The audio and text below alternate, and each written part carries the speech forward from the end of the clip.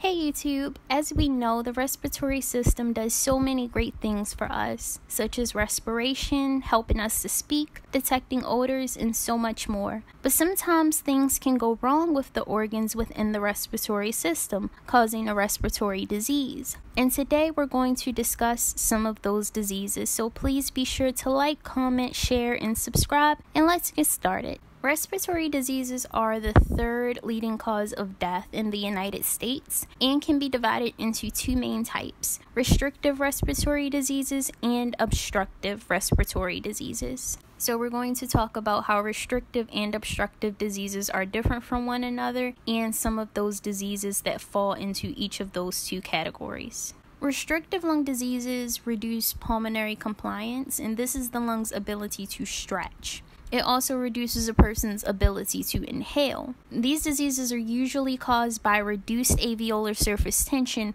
and destruction of the lung's elastic fibers. Both of these together will hinder the lung's elasticity. Restrictive lung diseases will reduce a person's inspiratory, vital, and total lung capacity. It also will make breathing in and out more difficult for the patient. There are three main types of restrictive lung diseases. There is idiopathic pulmonary fibrosis. This is a disease in which the lung tissue becomes inflamed and causes damage to the lung's elasticity. Now, when this tissue in the lungs become damaged, it then gets replaced with scar tissue made of thick bundles of collagen fibers. Pneumoconiosis refers to a group of diseases in one. These diseases arise from inhaling inorganic dust such as coal dust, silicon dioxide, asbestos, fiberglass, and heavy metals. And these particles will permanently colonize the lung tissue, causing it to become inflamed. Now, neuromuscular diseases and chest wall deformites aren't technically lung diseases, but they do cause stiffness of the chest and weakness of the inspiratory muscle as a result of having the disease.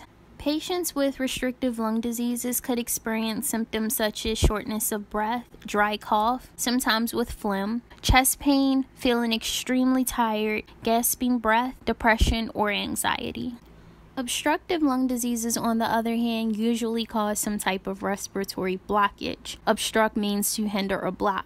These diseases increase airway resistance, which is the respiratory tract resistance to airflow, and this causes trouble with breathing out. A patient with an obstructive lung disease a lot of times will purse their lips and breathe out slowly, usually to reduce the lung compression and prevent air from being trapped. A lot of patients with this type of disease will also hyperinflate their lungs, and this is pretty much just another tactic for them to decrease the amount of air being trapped in the lungs. In an obstructive lung disease pattern, the residual volume, which is the amount of air that is still in the lungs after exhaling, will increase because again in obstructive lung disease patients it's hard for them to get air out. And in return this will decrease the lungs vital capacity which is the amount of air that can be exhaled from the lungs after a full inhale.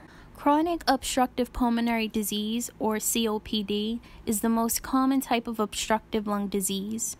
Over 16 million Americans have been affected by COPD, and it's the sixth leading cause of death worldwide. This disease causes a persistent blockage in the respiratory airway. Though risk factors of developing COPD can vary from genetics or the environment you live in, most patients with COPD do have a history of smoking. Now, COPD has its own subtypes. There is emphysema, small airway disease, and chronic bronchitis. Emphysema is a disease that causes destruction of the respiratory zone and loss of alveolar surface tension. This results in abnormally large bronchioles. This subtype of COPD is usually caused by the resins from cigarette smoke. Resins destroy the lung's elastic fibers, of course, causing the lung to lose its elasticity, also known as its pulmonary compliance. And in very, very rare cases, a patient may have a genetic mutation that left them at high risk for developing the disease. In this mutation, the individual is lacking an enzyme that fights against other enzymes that damage the lung tissue. This results in the lung's elasticity to be destroyed at a very fast pace. Small airway resistance disease is a disease in which the bronchioles become narrowed and plugged with mucus. This disease usually follows emphysema. Chronic bronchitis causes inflammation of the bronchial tubes, which we can kind of tell how this disease will affect the lungs due to its name, bronch meaning bronchi and itis meaning inflammation. This disease causes the patient to produce an excessive amount of mucus that must be cleared by coughing. This disease is mainly caused by cigarette smoke. The cigarette smoke impairs the lungs by increasing the size and number of the mucus glands and goblet cells and this is what's going to cause an excessive amount of mucus being produced. Cigarette smoke also impairs the lungs by paralyzing the cilia of the respiratory epithelium. Now, this is dangerous because the cilia of the respiratory system functions to filter the air breathed through the nose. So, if the cilia becomes paralyzed, an individual won't be breathing in clean or filtered air. Patients with COPD usually experience a mixture of all three subtypes. A patient with COPD will usually exhibit shortness of breath, coughing, excessive phlegm, prolonged exhaling, increased partial pressure of carbon dioxide, decreased partial pressure of carbon dioxide, cyanosis, and barrel chest due to lung hyperinflation. Treatment of COPD begins with smoking cessation, and due to carbon dioxide buildup, other treatments are done to increase oxygenation by using oxygen therapy or decreasing airway resistance. Now, lung transplant therapy is also an option for patients that experience severe cases of COPD. Asthma, another obstructive lung disease, affects 7 to 10% of the world's population. In asthma, the airways become hyperresponsive to a trigger.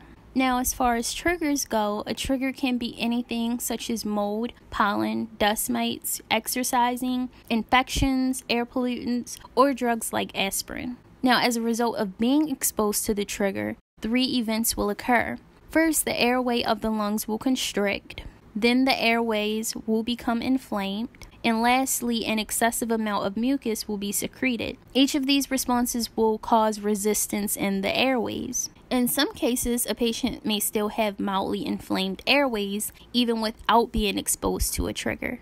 Asthma attacks occur in episodes. Now, how much these attacks occur does vary amongst individuals. Asthma attacks consist of shortness of breath, wheezing while breathing in and out, and coughing. Most attacks are acute, and the patient usually recovers their normal pulmonary function. Now, that always isn't the case. There are some cases in which a patient can experience a consistent obstruction of the airways. This is a condition called status asthmaticus. Acute asthma attacks are treated through bronchodilators to reduce airway resistance. Now, these bronchodilators will bind beta 2 receptors that are found on bronchiolar smooth muscles. This will give relaxation to the airways. Now, long term asthma is usually treated with anti inflammatory steroids to reduce inflammation of the airways. Of course, by doing this, this will prevent or decrease the frequency of attacks. Lung cancer is another severe obstructive respiratory disease and it's the number one cancer killer of both women and men. Lung cancer causes tumors in the epithelial lining of the bronchi, bronchioles, and alveoli. There are several risk factors for developing lung cancer, with cigarette smoke being the number one risk factor. Even secondhand smoke can increase the risk for lung cancer one and a half more times than a non smoker. Genetics, radiation, and chemical exposure are also risk factors. Now, the thing with lung cancer is it can be hard to detect early on because the symptoms are so non-specific and can vary amongst individuals. Due to the developing tumors that form in the airways, this causes the airways to narrow. And of course, this can cause the patient to have trouble breathing. Other symptoms include coughing, blood streaked phlegm, recurring infections, and chest pain. Now, as the tumors grow, a patient can experience infiltrated lungs. And infiltrate can be a dense substance such as pus, blood, or protein lingering in the lungs. Lung cancer in some cases can result in fluid of the pleural cavity, causing alveoli to collapse and hindering the lung's ability to stretch. Both cases can cause the symptoms that we see in restrictive lung diseases like the ones we mentioned earlier. Treatment for lung cancer really depends on the class of the tumor, such as its cell type and metastasis, which is its ability to spread to other parts of the body. But these treatments usually include surgical removal, radiation therapy, or chemotherapy.